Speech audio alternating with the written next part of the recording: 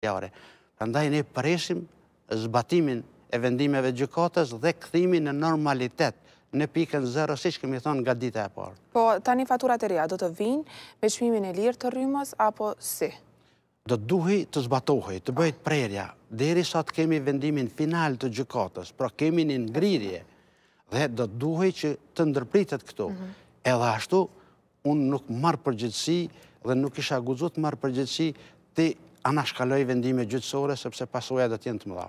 Po qytetarët për faturat që i kanë paguajtur me çmimin e lartë, faktikisht të shtrenjtuar të rrymës, çfarë do të bëhet për këto dy muaj të cilat i kanë kaluar? Do të pritet vendimi i fundit, mhm. final, Edhe për ato dy muaj të kaluar të po, cilat i kanë paguajtur me qmimin? Nuk mund tash të kthehemi të diskutojmë për ato pa ardhë vendimi final. Pra po. ne njëherë kemi një ngrirje, një bllokim, një situatë të masës së përkohshme. Dhe kjo masë e përkohshme duhet pritur vendimin final të gjykatës, i cili do të pasojë.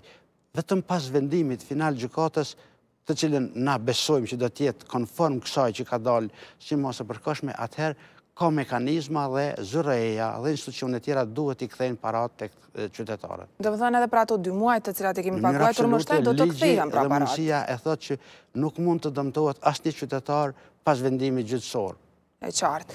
Po, sipas jush, a ishte kjo opcioni i vetëm i qeverisë për ta shtrenjtuar energjinë elektrike, çmimin e saj, apo ka pasur ndoshta edhe ndonjë opcion tjetër, që ka jo, qenë edhe më i mirë dhe... Jo, të drejten ka qenë vendimi ma i keq i mundshëm, i qeverisë dhe zyrës së rregullatorit, ka qenë vendimi ma jotransparent, ka qenë dhe mbetet vendimi ma diskriminus në aspekt, në aspekt me qytetarët, ka qenë vendimi ma diskriminus në baza etnike, sepse është mhm. falë, është abrogu një zonë e tanë, do thotë, një etnitet tjetër, ka qenë vendimi ma i keq sa i përket kategorive brenda shoqërisë, sepse ekonomi të caktuara familjare pagujnë e, si me thonë, edhe për kategori të tjera, dhe ka qenë një vendim definitivisht i ndikuar politikisht dhe jashtëzakonisht i damshëm për ekonominë e vendit.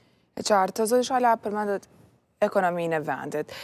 Kur jemi te ekonomia qeveria e Kosovës po thirret që ka një rritje ekonomike dhe një ulje të papunësisë në vendin tonë, derisa në anën tjetër kemi një inflacion në muajin mars që ka arritur në 10%. Sa e rrezikon ekonominë një rritje kaq e madhe e inflacionit, e cila për momentin është e tillë? Por, nëse kemi rritje ekonomike, do të duhej kjo të reflektonte në xhepin e çdo familje qytetarit.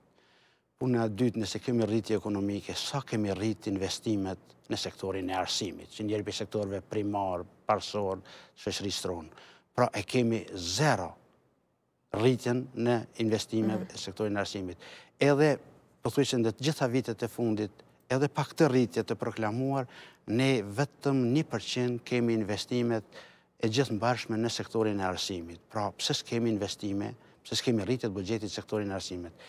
Apo, sa është rrit buxheti në sektorin e shëndetësisë, përveç kategorive sociale, po i lamë, se paketa sociale është diçka tjetër. Pra, sa është rrit numri i të punësuarve, Unë ju them me përgjegjësi të plotë që në tre muajt e fundit numri është jashtëzakonisht shqetësues i njerëzve që dalin nga puna, edhe në sektorin publik, edhe në sektorin privat. Pra kemi ra